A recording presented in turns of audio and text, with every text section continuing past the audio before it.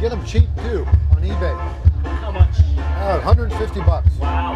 And it's a whole video thing, huh? Uh, not the camera, just the gimbal. The gimbal part. keyboard, There. Mr. Sam